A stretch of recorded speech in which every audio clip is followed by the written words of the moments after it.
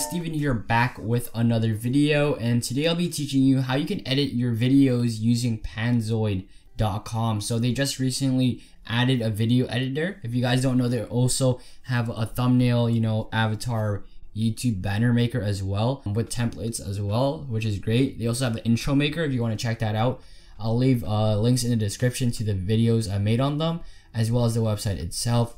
But basically, this website is great for anyone looking to getting into video editing, or maybe they don't have a powerful PC, or they don't even have a PC at all. Um, it's great for that type of stuff. Because it is web-based, you don't have to download anything. Um, it's just on your browser, so um, it's a website, you know. So let's just get into the video. Hopefully, you guys enjoy. I want to test it out myself as well, um, see how it is, and if it actually is helpful. Uh, with that being said, let's just get into the video. The first thing you want to do is go into panzoid.com I've been using Panzoid since the beginning when everything was version 1, so Backgrounder 1, Clipmaker 1. My two most viewed videos are on uh, Clipmaker 1 and 2, so Panzoid has done very good for me, but now they've added their Video Editor 1.0 Alpha, and one thing I can say is that it improves as you know new versions come out obviously.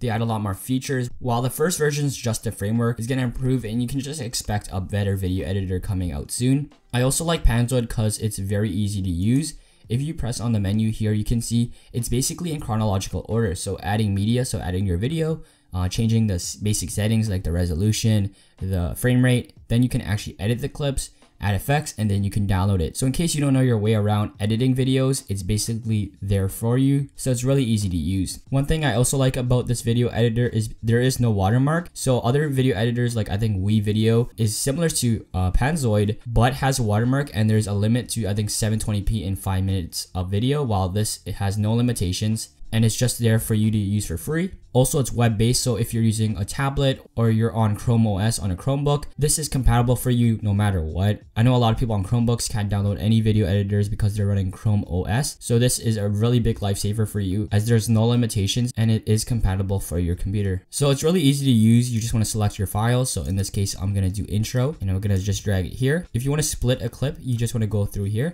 select uh, the clip and then just press the split icon that's the only option you have. There's no cutting, there's no trimming, but that's really all you need. You can also zoom in by pressing the magnifying glass and zoom out by pressing the other one. You can change the basic settings, the resolution, so you can actually export in up to 4K.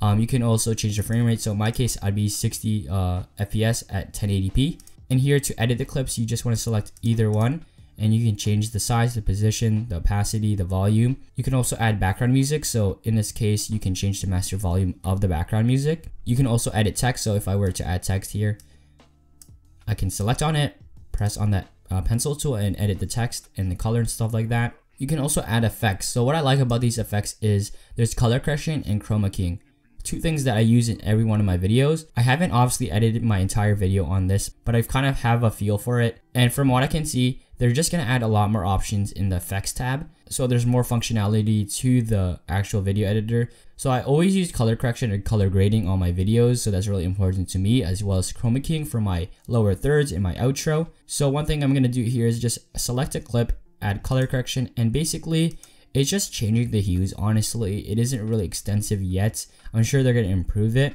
But here you can see, like, you can change it and stuff like that. So it's obviously a different color. This is for the text, obviously. If I wanted to change the the actual, like, video, you can do that as well by pressing here and then changing it. Oh, oops, my bad. Uh, I would expect them to add templates, so like uh, community templates where you can change it from a template. So similar to like LUT preset, they'll add presets like cool colors, warm colors for color correction, stuff like that. So here I'm just gonna insert my outro since I need chroma keying for that. And I'm gonna show you that it does work and it works pretty easily.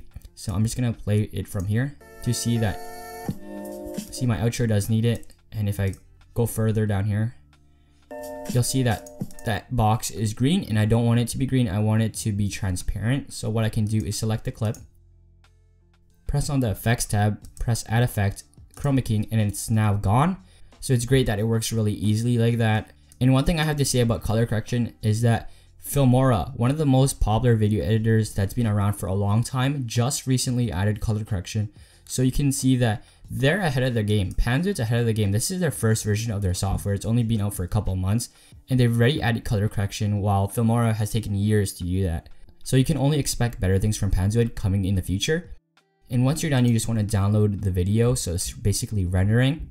One thing people will say is, why is it .mkv? I'm not sure why, but you can still upload it onto YouTube. You cannot upload .webm on YouTube, however. And for the mode, I would recommend using balance. Best quality does take a long time and fastest render might uh, lose a bit of quality. If you have a really slow laptop, I go with fastest render. And now I'm just going to delete all the clips so that you guys can see um, the final rendering because I don't want it to take too long and we're to start rendering right now and it's to give you a time left so a estimated time that it will take to render and then it's to give you options for downloading your video or returning to the video editing. I'm to download my video and it should appear in the bottom left here. I'm to go onto youtube.com slash upload to show you guys that you can actually upload the video and it's compatible.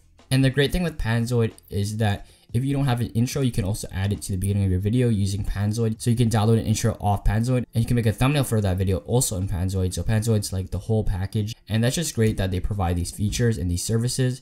So hopefully you guys did enjoy this video. If it did help you out, hit that thumbs up button. I'm really excited for the future of Panzoid.